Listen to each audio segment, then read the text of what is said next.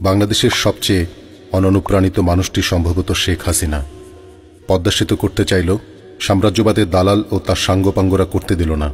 বলল, আবুল হোসেন দুর্নীতি করেছে, সরকার দুর্নীতি করেছে। কানাডার আদালতে প্রমাণিত হল, কোনো প্রকার দুর্নীতি হয়নি।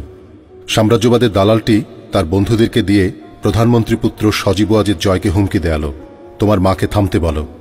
তা না হলে তোমার বিরুদ্ধে অডিট হবে। প্রধানমন্ত্রী পুত্র সানন্দে বললেন, করো। সৎ থাকলে ভয় পাওয়ার কিছু নেই। করো, অডিট। শেখ হাসিনা বললেন, আমরা নিজের পয়সায় পদ্মা সেতু করব। দক্ষিণবঙ্গের মানুষের দুঃখ ঘোচাব। একপাল বিজ্ঞ তখন জানালেন, এতে মাছের প্রজনন নষ্ট হয়ে যাবে। তাই পদ্মা সেতু বানানো চলবে না। এক বদ্ধমূর্খ মহিলা জানালেন, এই পদ্মা সেতু ভেঙে পড়বে। আপনারা কেউ পদ্মা সেতুতে উঠবেন না। এক অর্থে অবশ্য তিনি স্বীকার করে নিলেন পদ্মা সেতু শেখ হাসিনা বানিয়ে ছাড়ছেন। অথচ মূর্খ মহিলাটি একসময় বলতেন, জীবনেও পদ্মা সেতু বানাবেন না। এরপরেও পদ্মা সেতুর পিলার বসে শেখ হাসিনা কাজ করে যায়। বিদ্যুতের জন্য আন্দোলন করায় কানসাটে গুলি করে খুন করেছিল সরকারি বাহিনী। শেখ হাসিনা রাষ্ট্র ক্ষমতায় আসলেন, বিদ্যুৎ উৎপাদনে মনোযোগী হলেন, স্থায়ী সমাধানের পাশাপাশি কুইক রেন্টালের ব্যবস্থা করলেন, চলমান সমস্যার সাময়িক সামাল দেওয়ার জন্য। একপাল বিজ্ঞ আবারও খেপে উঠলেন, কুইক রেন্টালের মাধ্যমে সব টাকা নাকি শেষ করে দিচ্ছে জনগণের। কিন্তু উৎপাদন বেড়েছে কতটুকু, সেটা তারা জানাবে না। কুইক রেন্টাল খারাপ, তো শেখ হাসিনা যখন স্থায়ী সমাধানে মনোযোগী হলেন, বিদ্যুৎ কেন্দ্র স্থাপন শুরু করলেন, তখন আরেক পাল বিজ্ঞানীর আগমন ঘটল। বিদ্যুৎ কেন্দ্র স্থাপন করা যাবে না। কয়লা দিয়েও করা যাবে না, পারমাণবিক চুল্লি দিয়েও করা যাবে না। কিন্তু এরা, আবার যাদের বাবা মানে তাদের দেশের বিদ্যুৎ উৎপাদন নিয়ে মুখ খোলে না। রাশিয়ার ছেচল্লিশ পার্সেন্ট বিদ্যুৎ উৎপাদিত হয় গ্যাসের মাধ্যমে, আঠারো পার্সেন্ট কয়লা, সতেরো পার্সেন্ট পারমাণবিক চুল্লির মাধ্যমে। এক রাশিয়াতে একত্রিশটি পারমাণবিক চুল্লি রয়েছে। চীনে ছাপ্পান্ন পার্সেন্ট বিদ্যুৎ উৎপাদিত হয় কয়লা চুল্লি থেকে। আমেরিকার তেত্রিশ পার্সেন্ট গ্যাস হতে, তিরিশ পার্সেন্ট কয়লা হতে, বিশ পার্সেন্ট পারমাণবিক চুল্লি হতে। কিন্তু সব দোষ আমাদের বেলায়, সব দোষ শেখ হাসিনার বেলায়।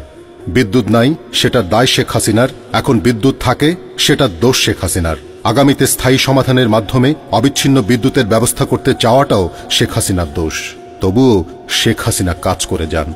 শহরের প্রথম ফ্লাইওভারের কাজটিও শুরু হয় শেখ হাসিনার হাত ধরেই।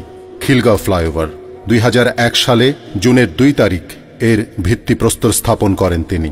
এর উদ্বোধন করেন পরবর্তী সরকার প্রধান হয়ে ক্ষমতায় আসা বেগম খালেদা জিয়া। খালেদা জিয়ার ব্যাপারগুলো খুব সুন্দর, চাঁদের মতো। নিজের কোনো আলো নেই, অন্যের আলোয় আলোকিত। সেই খিলগাঁও ফ্লাইওভারের বাসাবুলোপটির কাজ অসম্পূর্ণ রেখেই উদ্বোধন করেছিলেন তিনি। পরবর্তীতে স্থানীয় সংসদ সদস্য জনাব সাবের হোসেন চৌধুরীর সুপারিশে প্রধানমন্ত্রী শেখ হাসিনার কঠোর নির্দেশের পর তা বাস্তবায়নের শেষে চূড়ান্তভাবে উদ্বোধন করায় দুই হাজার ষোলো সালে। নির্মিত হয়েছে মেয়র হানি ফ্লাইওভার। যাত্রাবাড়ি নারায়ণগঞ্জ গুলিস্তানের মানুষদেরকে একটা বিশাল পরিমাণ কর্মজীবী মানুষের জীবন পরিবর্তন করে দিয়েছে ফ্লাইওভারটি। ঢাকা, চট্টগ্রাম সহ সারা দেশে নির্মিত হয়েছে এরকম অনেক উড়াল সেতু। যখন ছিল না, তখনও গাল খেত এত জ্যাম কেন? বানানোর কালেও গাল খেত রাস্তায় চলতে কষ্ট বলে। এখন গাল না পারলেও উৎসাহ অনুপ্রেরণাদায়ক কিছুও বলে না। তবুও শেখ হাসিনা কাজ করে যান। চলতে থাকে মেট্রো রেলের কাজ, চলতে থাকে বিমানবন্দর থেকে কুতুবখালি পর্যন্ত উড়াল সড়ক বা এলিভেটেড এক্সপ্রেসের নির্মাণ কাজ।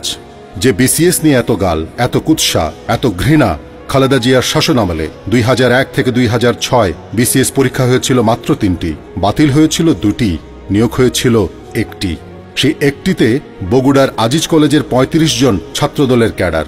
অথচ গত নয় বছরে বিসিএস হয়েছে নয়টি। দুই নয় থেকে দুই হাজার আঠারো এই সময়কালে চিকিৎসক নিয়োগ দেওয়া হয়েছে আঠারো হাজার ছয়শো পঁয়ষট্টি জন। বিসিএস নিয়ে মানুষের ফ্যান্টাসিকে আকাশচুম্বী করার পেছনে আমি অবশ্য শেখ হাসিনাকে দোষ দিই। কারণ দুই হাজার পনেরো সালের সেপ্টেম্বরে অষ্টম পে স্কেলের মাধ্যমে বিসিএস ক্যাডারদের বেতন দ্বিগুণ করা হয়। এরপর থেকে বিসিএস এর পেছনে শুরু হলো দৌড়। মজার ব্যাপার হলো যার আমলে প্রতি বছর বিসিএস হলো, প্রতি বছর নিয়োগও হলো, বেতন দ্বিগুণ করা হলো, সে তিনি এখন বিসিএস মেধাবীদের কাছে খারাপ। অথচ যার আমলে বিসিএস এর নিয়োগ হলো মাত্র একটা, এবং সেটাও প্রশ্নবিদ্ধ, সে কেমন মজায় আছে বলেন দেখি। এরপরেও শেখ হাসিনা কাজ করে যান। এদেশে জঙ্গিদের আশ্রয় ও মদতদাতা বিএনপি সরাসরি রাষ্ট্রীয়ভাবে জেএমবিকে পেট্রোনাইজ করে এদেশে জঙ্গিদের জন্ম দেওয়া হয়েছিল। সরাসরি তারেক রহমান, বাবর, পিন্টু হারিস চৌধুরী জড়িত ছিল জেএমবির উত্থানের সাথে।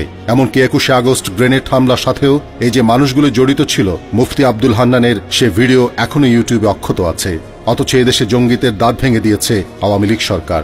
একের পর এক সাহসী অভিযানের মাধ্যমে জঙ্গিবাদ থেকে মুক্ত করায় শেখ হাসিনা প্রশংসিত হয়েছে বারবার বহির্বৃশ্যে মজার ব্যাপার হল, এদেশের মির্জা ফখরুল ইসলাম আলমগীর ও বিশিষ্ট সজ্জন আনু মোহাম্মদ এই জঙ্গি অভিযানকে নাটক বলে অভিহিত করেন।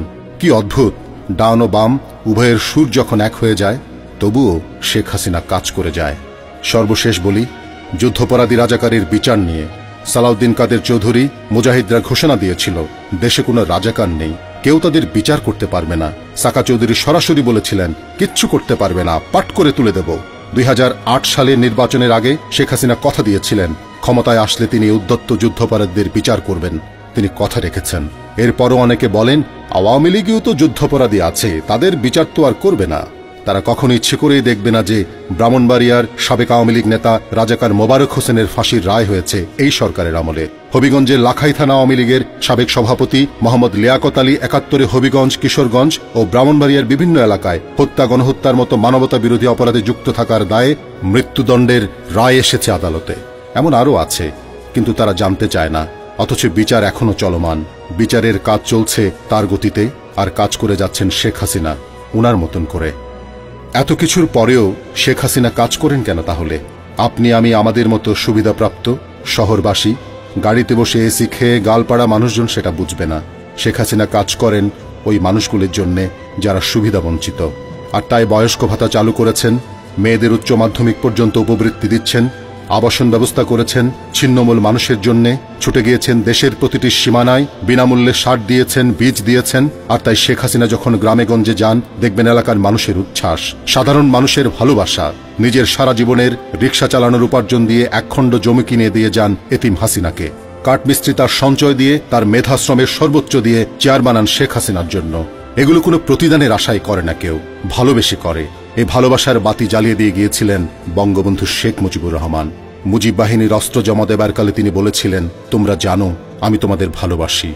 আর আমিও জানি, তোমরা আমাকে ভালোবাসো। তোমাদের কাছে আমার একটা অনুরোধ রইল।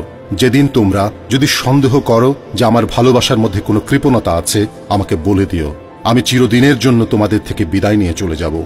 আমি সব ত্যাগ করতে পারি, কিন্তু তোমাদের ভালোবাসাকে ত্যাগ করতে পারি না। সে ভালোবাসাই কন্যা শেখ হাসিনাকে জীবিত রাখে।